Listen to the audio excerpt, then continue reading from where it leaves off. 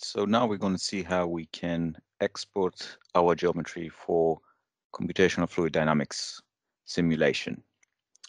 Um, I have here my helmet as it is finished. But I don't need all the little features, at least for the purposes of our project, uh, to go into the simulation. So I'm just going to take the kind of primitive, the outer shell. So I'm actually going to go back to where I created the outer shell. So I can either do it going back through here, which is this one, or I have copy pasted it. So I can just make it visible here and just make everything else invisible.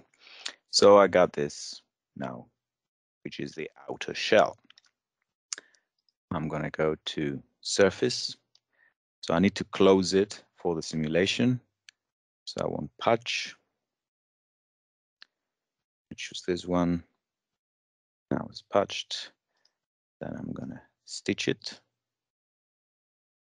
All right. And now I have my primitive. And then I'm going to export that as a step file. So I choose step. I'm going to save it in my downloads.